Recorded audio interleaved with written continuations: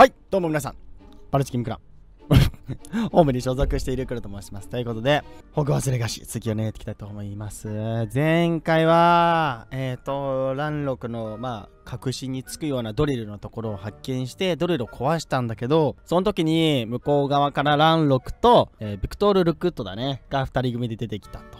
そう。で、一緒にロード国も見つかっちゃって、まあ、ロード国が見せたかった本、多分僕自身に見せたかった本をランロクで渡してしまったと。で、ランロクが、まあ、ね、裏切りというか、そのね、欲しかった情報を持ってたのが、おお、オリミス、どうした？彼女が言うには、セバスチャンは近墓地で会う時には俺も一緒だと約束したのに、すぐに一人で来いと頼まれたらしい。まるで別人のようだとアンは言ってる。できるだけ早く近墓地に会いに来てくれ。メッセージがちゃんと伝わるといいんだが。ありがとう、オミニス。ごめんね。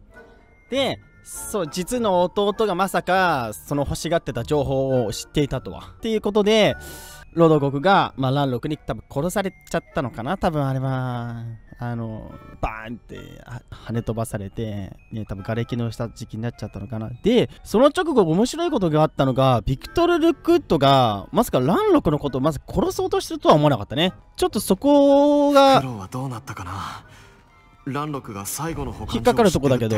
先生と守護者に伝えないと。受け取ったフクロウによれば蘭禄は我々の予想よりも早く動いておる。お待たせ。皆さん。できればもっと時間をかけて最善の道を探りたかったのだが。あの生徒の話を聞いてみようか。サンバカ先生。お待たせ。先生フクロウが届いたんですねランロックがブラグボールの最後の日記をロドゴクを殺して手にしました。最後の保管所の場所を知ってます。なんということだ。ロドゴクはロドゴクとランロクは兄弟だったんです。ロドゴクが日記を届けてくれました。ランロクは怪物だ。最後の保管所がどこにあるか調べねば。これで状況が変わりますランロクが日記を手にして最後の保管所の場所を知りました。ブラグボールは記憶を消去されている。日記をつけていただと。なぜこんなことを書き留めておく。我らが何を収めていたか知るはずは。うーん。わかりました。石ドーラが押しました。うわー。うわー。わかりませんっていうのがいいのかな。わかりませんっていうしかないね。日記を読んでないので。君の言う通りならまずい理想的な状況とはとても言い難いがグズグズしていたら手遅れになる。進め方についてはラッカム教授に従うとしよう。彼らは記憶を目にしたのだ。私たちが現在直面している危機の重大さを理解しているはずだ。次なる試練で試されるのは尋常ならざる魔法の腕と動物たちと心を交わす繊細な力だ。石と巻きひげの顔を探したまえ。一つ忠告しよう。いかなる動物が現れようと自分で相手にしなければならない。ほう。バカー先生がペンシーブの部屋にいる。ほう。尋常ならざる魔法の腕。動物たちと心を交わす繊細な力。うん。それでは石と巻きひげの顔を探し始めようではないか。意味はさっぱりだが。ですねウィズリー先生に目をつけられておってな。あの人とブラック校長に疑われる理由を作らないためにも向こうで落ち合おう。ああそうだね。海岸の近くでな。分かった。オッケーまた海岸かよ。遠いんだよねここまで来るのにね。遠いってだから。じゃあ近く来るまでねカットします。さあということできましたおペグ先生いるね。いつも言ってるけどおばて。旅は視野を広げて。よかった。来たな。うん。いい知らせだ。うん。蘭禄の信奉者と争う必要はなさそうだぞ。悪い知らせもある。理由は向こうが守護者から情報を得る必要がなくなったからだ。何の足音だ？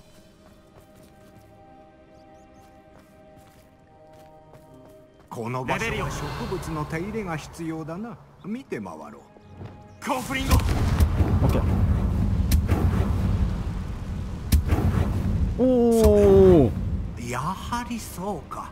どうするべきか分かっておる。オッケーよかったよかったよかった。あそこに掘られた頭に見覚えは？えどうでしょう？あれは頭？見覚えはないですねグラップホーンという恐ろしい獣プのようだ。そして地面に掘られた模様からグラップホーンが何らかの形で導いてくれるだろうとわかる。動物たちと心を交わす力ってラッカの先生が言ったのはこういうことだったんですね。そのようだな。近くに長らく栄えてきたグラップホーン一族の末裔が住んでおる湖畔の主と呼ばれておるものだ。彼を連れてきてもらわねばなその次にどうするかはわからんが。おおそうしなければならないならやります。素晴らしい。私はこの地域をよく知っておる。巨大な怪獣の遺骸が見つかればそこが正しい場所だ。さてラッカム先生が言っていた通りこの試練にまつわる獣には一人で接触せねばならん。幸運を祈る。地図の間で君の帰りを待っておるぞ。オまた行かなきゃいけないの？遠いよしかも。遠いよ近場じゃねえよ。どこだよそれ？おいすげえ対岸じゃねえかよ。おいフィグ先生。超低空飛行う。この先か。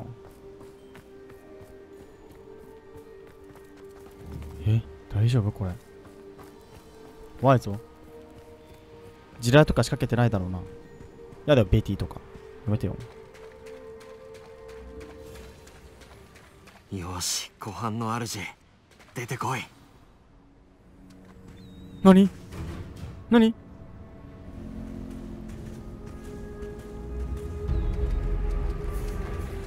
おっ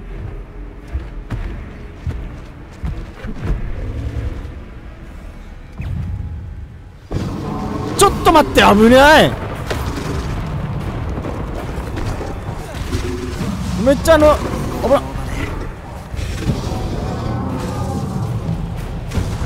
うわい。めっちゃあのねあのパイレーツ・オブ・カリビアンのねあれよ。オッケー。あれみたい。あの海賊の敵さんみたい。あいいよオッケーよしオッケ。ー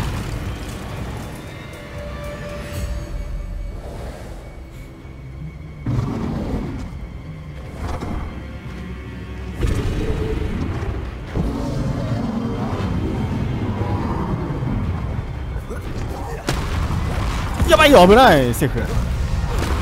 早い。こっちのが手が早いね。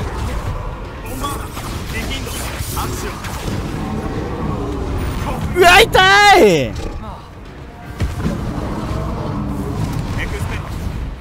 と。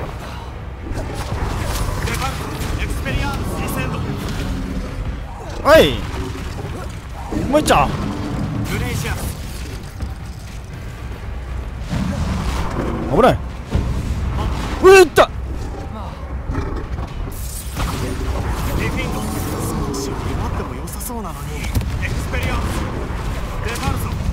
マジそれよ。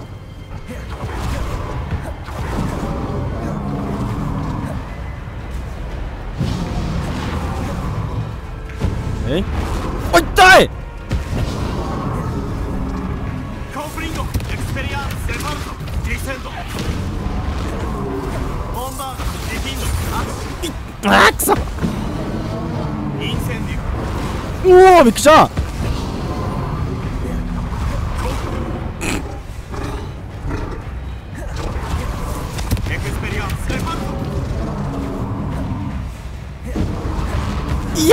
先読まれてるね。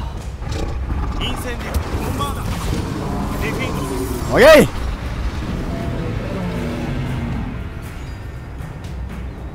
君じゃ僕には勝てないよ。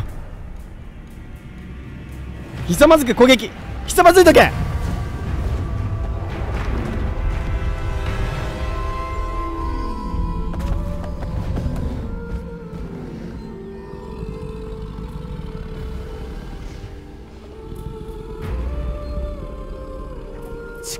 してほしい。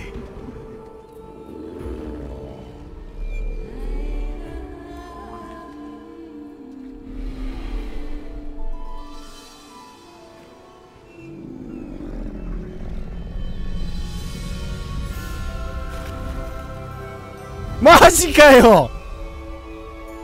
背中に乗れちゃった。ええー、ブラックホーンだった。ブワこぼれちゃった。やば。っマジかよ。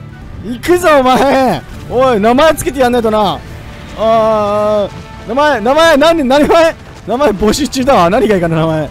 すごいすごいすごいすごいすごいすごいすごい。近くを荒らされてるのを知ったらご反応あベベー。すごい。あそこでひざまずくのとさ攻撃あったじゃんね。あそこ選択多分分かれてたのかな。攻撃してたら多分仲間にはなってくれなかったのかな。これくらいじゃ止められないはいどいて。もう君たちと戦った時間ねえんだこっちには。ほらはいどいてどいてどいてどいてどいて。ほら通るよ。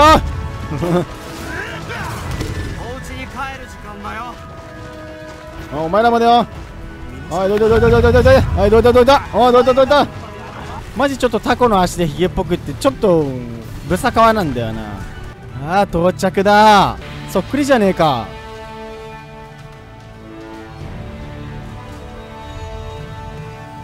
来た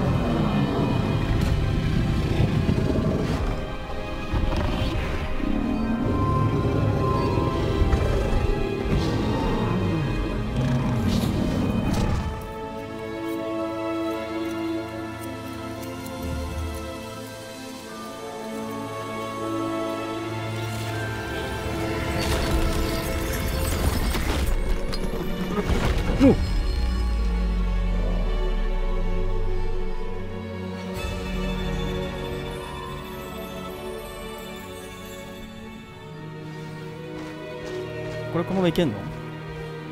あーそうか。ありがと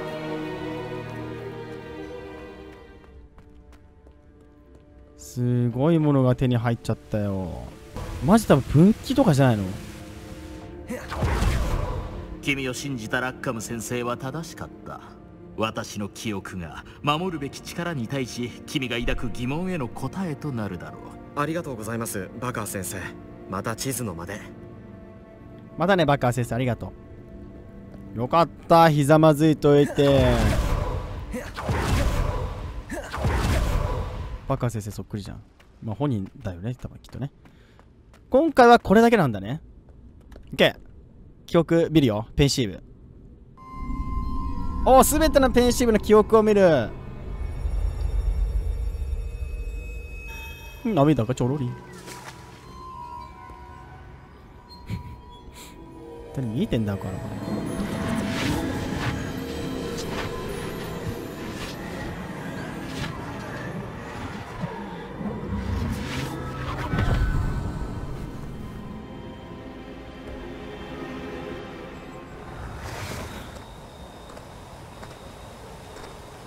おい石ドーラ石ドーラ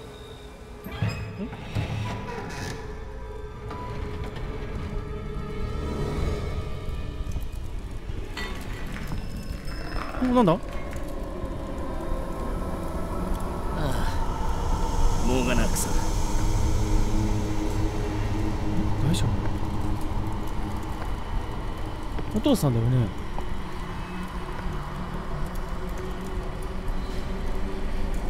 モーガナ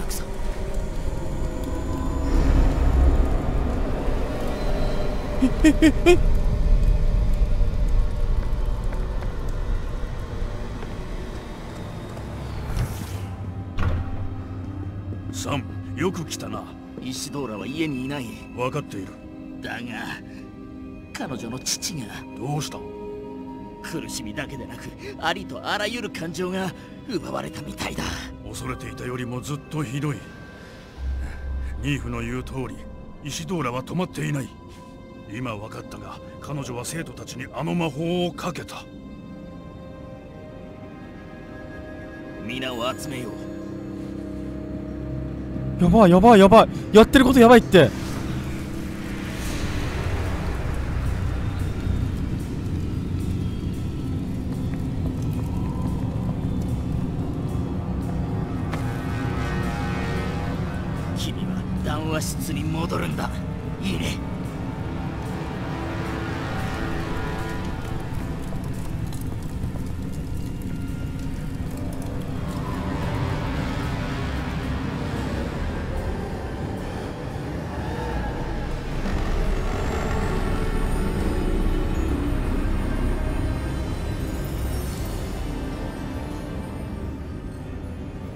何をしているんだ？落ち着いて。イシドーラ生徒たちは？みんな苦しんでる。すべてあなたの傲慢と秘密へのこだわりのせいよ。みんな苦しまれてもう二度と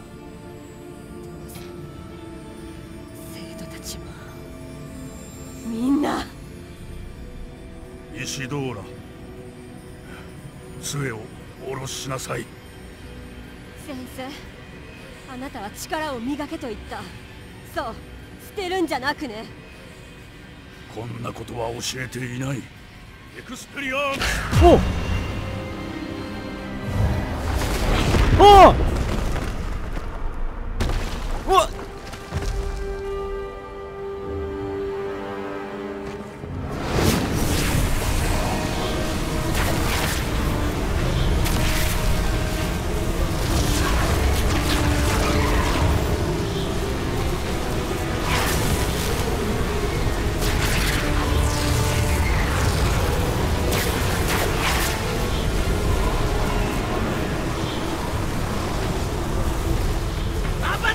お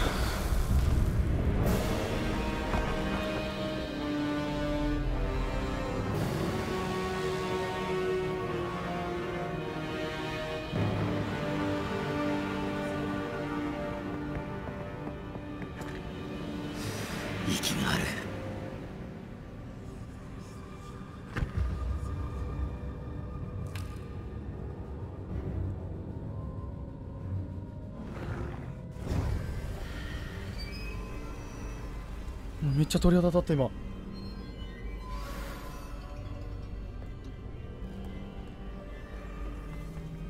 魔法の2を利用する。行こ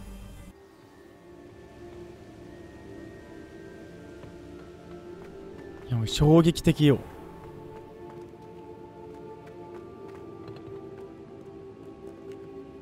ホグワーツの下の洞窟というとイシドーラと戦ったそこが最後の保管所ですか？そうだ。実は我々はイシドーラが多くの人々から奪った感情を破壊することができなかったのだ。だから手を尽くして何とか保管したのだよ。その感情を破壊できるようになるまでは感情を奪う魔法が魔法族にとって危険であると認識するに至った。そのため守護者になったのだ。不可解な魔法の秘密を守る者。古代魔術の痕跡が見えるものが現れればその力に魅了されるかもしれないと分かっていたからな。我々は痕跡が見えるものを誘う試練を作り出した。秘密の力を正しく扱うことができない人物にその力が渡ることが決してないように。先生僕は証明しましたよね。蘭禄より先に保管所に行かなきゃならないんです。大丈夫だ。しかし保管所は強力な古代魔術で守られている。入るにはペンシーブで見つけた4つの異物から特別な杖を作り出す必要がある。なら今は保管所は安全なんですね。もし彼が君の想像通りもう一つの保管所の力を使えるのなら私たちの守りもいずれ破られるだろう。それなら杖を作りに行かないときっとオリバンダー老人が助けてくれます。なるほどオリバンダーか彼から聞かされると思うがこの杖は一つの目的以外には使ってはならないものだ。杖を持って戻ってきたら道を開こオリバンダーにフクロウを送ろう。その間私はウィズリー先生と話しておこウィズリー先生？うああ。私としたことが判断を誤った。蘭禄のことをもっと早く伝えておくべきだったよ。まだ間に合うといいが蘭禄が本当にホグワーツの真下に穴を開けるつもりならあらゆる助けが必要だ。ありがとうございます。それではまた。いやマジかよ。もう驚愕だった今。はいえー、今回はここまでにしたいと思います。次回はあのホグズミードに行って多分杖を作りに行くのかな。そう多分そうだと思います。はいということで次回もお楽しみに。バイバイ。